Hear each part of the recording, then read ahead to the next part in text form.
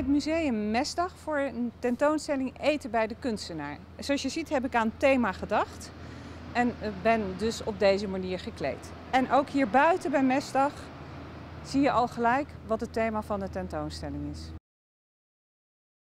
En dit is een heel bijzonder museum omdat het het oude uh, woonhuis van uh, Hendrik en uh, Sientje was. Ja.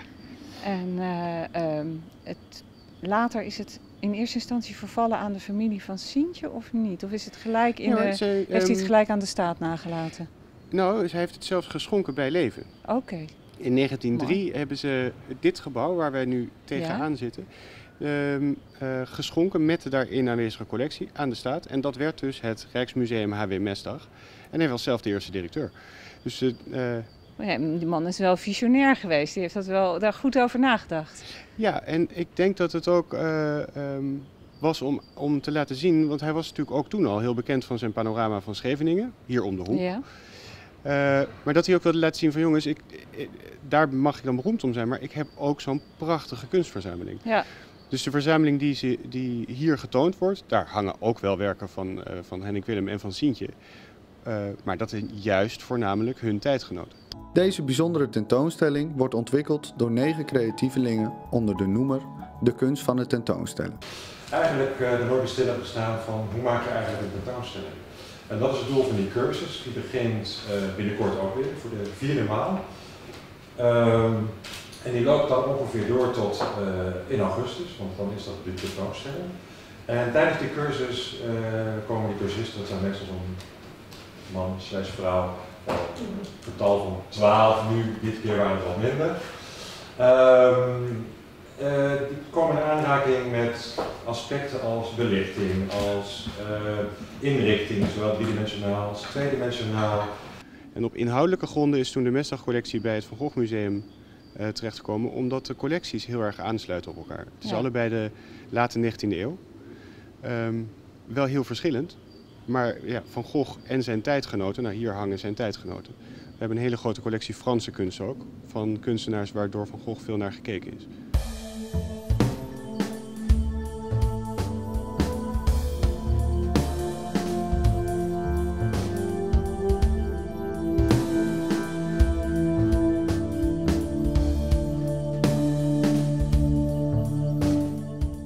We zijn in de werkkamer van Sientje Mestag van Houten. Dit was haar atelier waar ze haar schilderijen maakte. Nu staat er een mooie eettafel opgesteld met heerlijke, niet echte gerechten.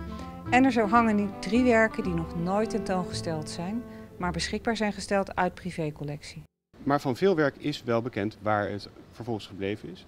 En deze collectie waar deze werken uitkomen, die, die kennen we. Dat is een eh, eh, collectie waar, we vaker eh, contact mee hebben gehad.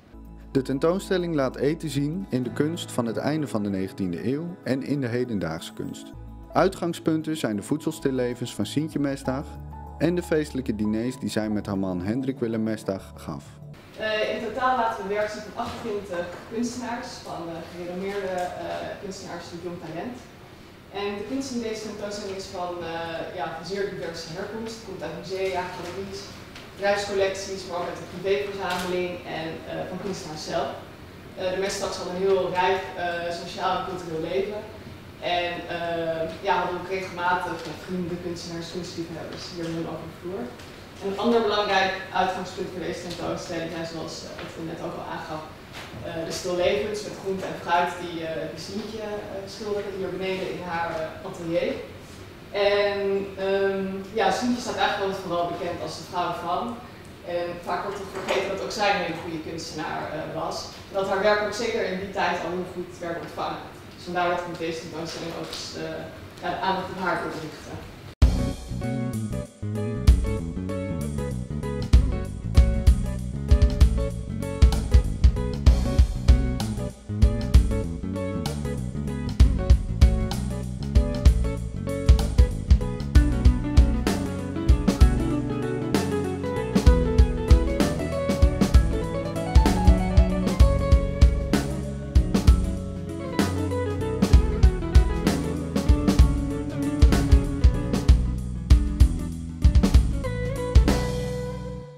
Hebben vorig jaar een boek gepresenteerd, eh HW Mesdag, kunstenaar, verzamelaar, entrepreneur. en het is ook, je, ehm, het is heel lastig en dat geldt eigenlijk voor het hele echtpaar om die rollen los van elkaar te zien. Want als je hem alleen maar, of hun allebei, alleen maar ziet als kunstenaar, dan doet dat geen recht aan de andere aspecten. En alles hing ook met elkaar samen. Het is, ehm, eh, en ze verzamelden op grote schaal, dat deden ze ook echt gezamenlijk. Na het overlijden van Sintje zijn er geen werken meer aan de collectie toegevoegd. Het was echt hun, hun gezamenlijke droom om een prachtige collectie op te bouwen. Maar ook dat verzamelen ging wel weer samen met handel. Want uh, als ze een bepaalde kunstenaar veel hadden, dan werd er ook wel weer eens wat verkocht. Dus mijn idee vanuit de vormgeving was om dat juist te benadrukken in de eerste zaal. Dus, die, uh, dat woonhuis weer een beetje tot leven wekken, ook met zo'n gedekte tafel. Uh, en werken uit hun eigen collectie en die zij zelf schilderden. Om zo een beetje dat je bijna binnenkomt bij de Mestas. En uh, deze zaal heb ik eigenlijk ontworpen als een contrast daarop. Dus hier heb je hedendaags werk. Uh, ja, met een, met een nieuwe kijk op het thema stil leven. Maar daar gaat Daniel straks meer over vertellen. En eigenlijk mijn idee was dat als je de eerste zaal binnenkomt en je kijkt al even zo met een schuin oog deze zaal in dat je denkt, wat is daar gebeurd? Dus je ziet die metallic vloer en de roze wand met het grote doek. Van uh, ja, een 3D-wizard uh, Jan Kietenen. Het is een Fins kunstenaar, ontwerper, die vooral uh, heel ingenieuze meubels maakt. En hij zit tegenwoordig in Los Angeles. Um, hij heeft een, een, eigen ontwerpbureau opgericht dat zich helemaal richt op driedimensionaal printen ramen zitten richting de tuin. Uh, ze zijn nu verduisterd omdat die aquarellen uh, niet te veel zonlicht mogen hebben. Om ze nou ja, ja. te beschermen tegen het verkleuren. Um, het huis staat ook eigenlijk, als je tegenwoordig je huis zou bouwen, had je liever aan de andere kant van de straat gewild. Want deze tuin zit op het noordwesten. Ja, noordlicht. Ja, je wilt liever zuidwesten. Maar als kunstenaar wil, wil je, liever noordlicht. Ja, ja, klopt. Dus het is, het is wat dat betreft ook echt een kunstenaarshuis. Ja. Uh, met lekker constant noorderlicht. Ja. Dit is een selectie die Itamar Gilboa maakte uit zijn uh, kolossale werk, de Food Chain Project. Hij heeft een uh, jaar lang genoteerd, iedere dag heel trouw, wat hij heeft gegeten. En dan na dat jaar heeft hij van alles wat hij gegeten heeft, heeft hij replica's gemaakt. Dus je ziet hier alle objecten, nou, je kunt een beetje zien wat hij, wat hij at. Dit is een uh, foto, in feite een, een stilleven, met heel veel objecten erop van eh, Ola Lanko. Uh, zij komt uit Oekraïne.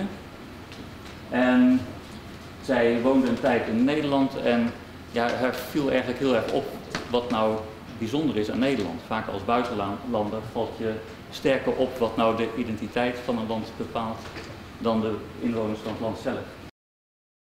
Uh, cursisten die dus met elkaar die cursus de kunst van de tentoonstelling deden en hun meesterproef is deze tentoonstelling, die hebben uh, natuurlijk meteen, toen, toen bleek dat het thema in de werken van Sientje, maar dus ook in hun hele tentoonstelling eten en, en alles wat daarmee samenhangt zou worden.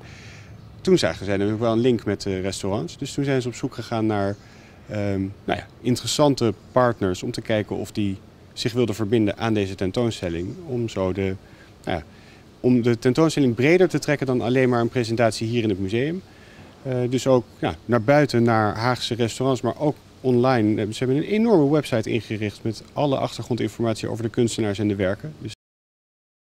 Maar wat wel interessant is als je eens goed kijkt, want je herkent meteen dat het fruit is, maar het is allemaal gepeld fruit.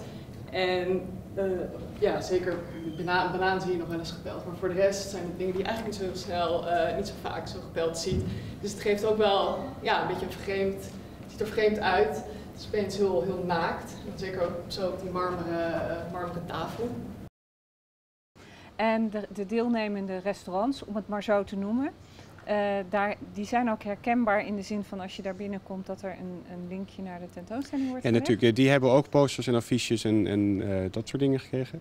En andersom worden ze hier in de tentoonstelling ook bij sommige werken vermeld als zij een specifiek werk hebben geadopteerd. Dus, uh, oh, Oké, okay, wat ja. mooi. Ja. mooi maar dat, dat is mooi. Dat is verbinden, dat is elkaar versterken. Dat is prachtig.